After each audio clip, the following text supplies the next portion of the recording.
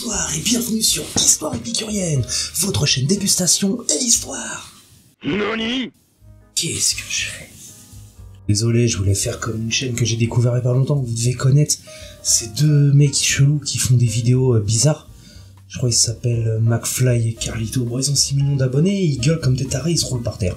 Je me suis dit, je vais faire pareil, il y a peut-être un moyen de gratter des abonnés. Quelle indignité.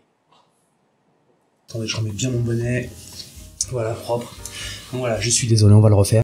A few moments later. Bonsoir et bienvenue sur Histoire épicurienne, votre chaîne dégustation et histoire. Bienvenue dans cette 20 e vidéo du calendrier de l'Avent des bières belges et nous allons commencer notre dégustation incessamment sous peu. Il est le moment d'ouvrir la prochaine bière. On va arrêter ça. Promis, promis, on va arrêter ça. Mesdames et messieurs, pour mon plus grand plaisir, parce que j'ai vraiment envie d'une bière ce soir. Ouais, va comprendre. Aujourd'hui, j'ai vraiment envie d'en boire une. N'importe laquelle que ça sera, je serai content. Oui, sauf une Garden. Aujourd'hui, pour mon plus grand plaisir, je vous présente la... Elle à l'envers. La Stout Leroy, ou le roi. La Stout le roi. La Stout le roi. Je ne connais pas cette bière. Ah bah ça va pas être compliqué, il n'y a pas de, y a pas de dos. Mais oui, c'est clair. En info, 33 centilitres, 5 degrés d'alcool, et c'est tout. C'est tout ce qu'on a sur cette bouteille. Tu crois que c'est du respect, ça? Tu crois que c'est du respect, mon garçon? Bon bah... Hmm. Oh, il y a encore une espèce de dépôt dégueulasse. Mais où est-ce qu'ils entreposent leurs bouteilles, sérieux Comment on fait pour avoir un dépôt pareil? La brasserie Leroy offre avec ce stout une version atypique des traditionnels stouts irlandais. Elle possède un goût maltais discret qui la rend plus accessible que les stouts traditionnels tels que la célébrissime Guinness. À la dégustation, la bière stout Leroy dévoile une belle robe noire. À la lumière, elle aborde des reflets roux à travers sa fine mousse beige. Au nez, elle offre des arômes de malt torréfié et de caramel auxquels s'ajoutent de subtiles notes de fruits confits et de fumée. En bouche, la texture est douce et légère. Sa finale légèrement amère est adoucie par son goût de caramel et de sucre candi. La brasserie Leroy est réputée pour la finesse de son brassage. La Stout Leroy illustre parfaitement cela. J'ai l'impression que je vais boire un coca. Bon. Que c'est joli, c'est vrai que c'est une petite couleur caramel. Bon, et on va pas perdre de temps.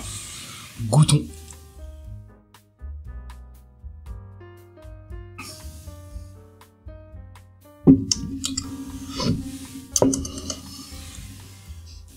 C'est très bizarre la sensation. Sucré et amer en même temps.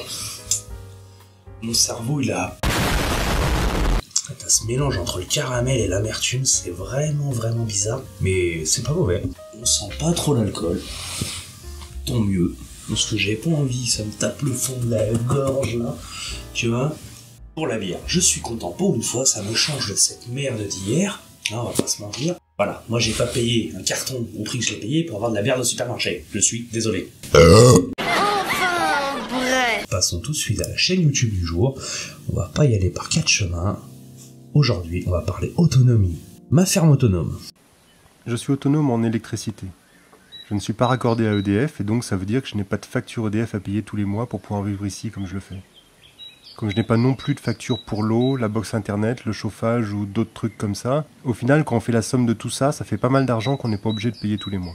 Or, pour faire court et concis, ma ferme autonome existe depuis octobre 2014 et euh, collectionne à lui seul 226 000 abonnés. Si vous avez vu la conjoncture actuelle, Nous sommes en guerre. ma ferme autonome est une chaîne pour vous. Voilà.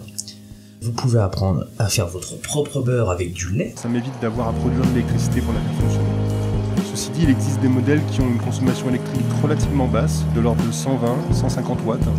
ou à comment gérer une ferme totalement en autonomie, comment trouver un terrain, comment... Alors, la deuxième question qu'on me pose le plus souvent après, euh, c'est quand que tu sors ta vidéo sur les fusils à silex Eh bien, c'est par quoi est-ce qu'on commence pour être autonome? Il y a énormément de choses à vous enseigner, vous avez énormément de choses à apprendre de lui. Si j'avais qu'un conseil à vous donner, apprenez à faire pousser vos légumes. Mais non, c'est dégueulasse Mais non, c'est pas dégueulasse, tu fais un peu un effort. Tiens, bah mange-en toi. Non. Pour revenir à ma ferme autonome, qui n'a pas de nom, hein, voilà, je ne sais pas du tout comment il s'appelle, on n'a jamais vu son visage, le seul truc qu'on peut dire c'est que c'est Luffy. Voilà, son avatar c'est Luffy. Après mon conseil de vous mettre au bricolage, de vous instruire par vous-même, YouTube est la meilleure base de données pour apprendre. Donc, mes amis, apprenez à vous débrouiller par vous-même. L'État ne sera pas toujours derrière votre cul pour vous soutenir, loin de là. L'État est pas là pour vous rendre heureux. Ça se voit quand même.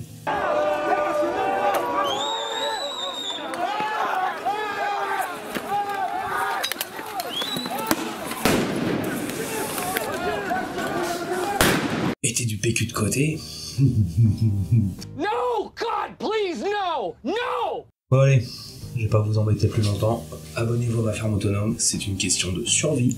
Voilà. Et euh, profitez-en pour vous abonner à ma chaîne. Hein. Sur ce mes amis, je vous dis à demain. Je vous souhaite une bonne soirée. Et on se retrouve pour le 21e jour du calendrier de l'Avent des bières belges sur Histoire épicurienne pour une nouvelle dégustation et une nouvelle histoire. Soirée à demain.